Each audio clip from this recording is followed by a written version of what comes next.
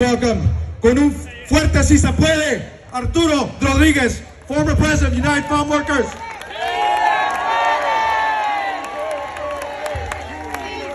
puede, sí se puede, sí se puede, sí se puede, sí se puede. Muy buenos días a todos. Es un gran placer para estar aquí con todos ustedes, especialmente todos esos peregrinos que están atrás aquí de mí, que marcharon los últimos 25 días, 345 días. Un fuerte aplauso para todos los peregrinos que están aquí presentes con nosotros. Sisters and brothers, it is always an honor to be here with farm workers.